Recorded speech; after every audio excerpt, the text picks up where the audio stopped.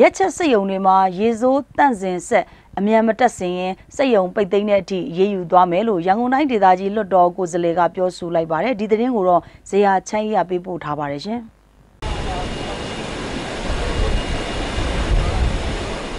ရန်ကုန်တိုင်းဒေသကြီးအတွင်းအရက်ချက်ဆက်ယုံပေါင်း17ခုအထိရှိနေပြီးအဲ့ဒီတဲကဆက်ယုံ3ခုသာအစိုးရကသတ်မှတ်ထားတဲ့စံချိန်မီရေစိုးတန်းစင်သက်တွေတက်ဆင်အသုံးပြုနေတာပါ ရေစိုးတန်းစင်သက်တက်ဖို့ကြံနေတဲ့အရက်ချက်ဆက်ယုံတွေအနေနဲ့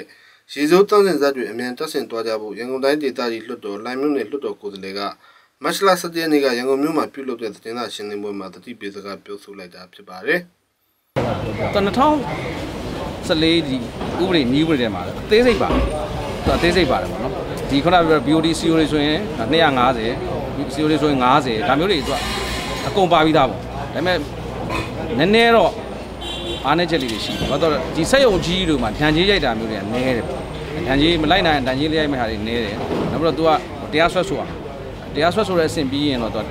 နောက်ဆုံးပိတ်မလိုက်နိုင်ရင်ပိတ်သိမ်းပေါ့ပိတ်သိမ်းပြီးတော့ရေးယူလို့ရတာရှိတယ်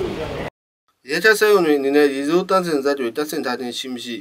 တိုင်းဒေသကြီးအစိုးရနဲ့ရန်ကုန်မြို့တော်စီပင်တာရေးကော်မတီတို့က2016ခုနှစ်စက်တင်ဘာလကစပြီးစီစဉ်မှုတွေပြုလုပ်နေပါတယ်။ ရေတန်းစင်ဇက်တွေစနစ်တကျတိစောက်လေပတ်ဆုံးပြတဲ့အချိန်ရောက်မှသာရဲချက်စဲုံတွေကိုပြန်လည်လေပတ်ခွင့်ပြုသင့်တယ်လို့